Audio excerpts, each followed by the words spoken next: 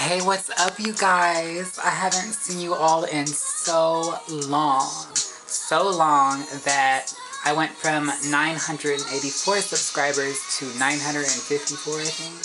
So, yeah, that's not good at all. I was trying to hit a thousand for the new year, and look what happened. So anyways, you guys, I miss you all so much. I have been taking a break from um, performing. I've been taking a break from um, junk food, alcohol. I've been on a diet, a strict diet with hella healthy food. I have not eaten McDonald's, Jack Mouse, KFC, Taco Bell, none of it, girl.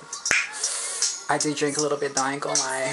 Um, I go out maybe once a week in opposed to how I used to go out all the time. So that's good. Um, today is February 18th, 2012, and I'm feeling sick on me. I got my boobs. Y'all live for my boobs. Yes, sick man. Well, I'm working on an album called Fishy Couture, as I told you guys last time. Sorry, my voice is a little crickety, crockety. no, I was kidding. Um, I've been working on an album. I just got done a few days ago with my first debut single called Spend the Night and that will be world premiering pretty soon.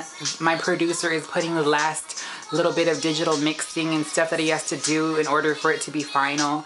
So that's amazing. And I'm going out tonight with my friends and I'm gonna have a fierce night and it's gonna be a good night. And um, I just miss you all. And subscribe for if in case the first time you're seeing me fishy couture this is my fish voice. Hello good how are you? Anyways um i have a new videos coming soon um april i'm gonna have my music video done hopefully by april. Sometime in like mid-april. It's called spend the night. Google it start talking about it because it's gonna premiere soon.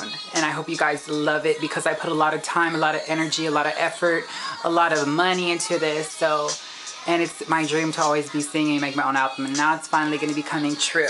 So that's even better so um, have a good night. Have a great weekend. And you guys take care of yourselves out there. Bye